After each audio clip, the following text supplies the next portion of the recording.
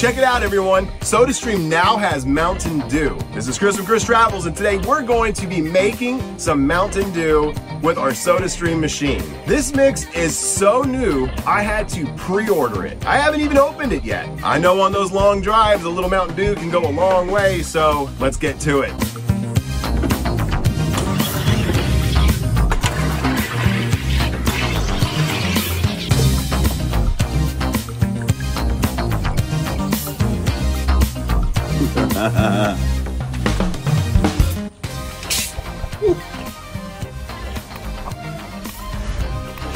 wow.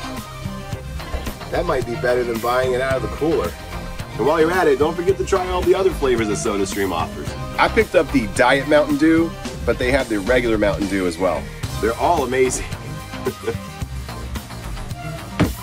I'm ready to go game.